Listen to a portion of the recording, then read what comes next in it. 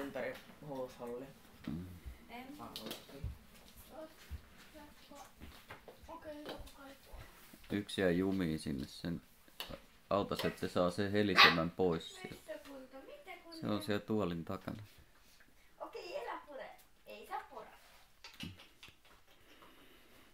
Mitä haluat?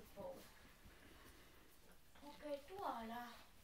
Kun tulee villitty, ei saa jotain. Mm, se haluaa sen. Odotaan. Tuossa on katoa, katoa.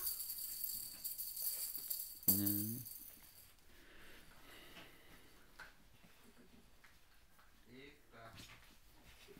Oota. No nytkö se ei enää kiinnostunut?